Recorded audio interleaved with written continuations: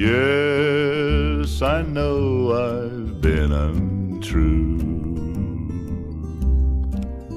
And I have hurt you through and through. But please have mercy on this heart of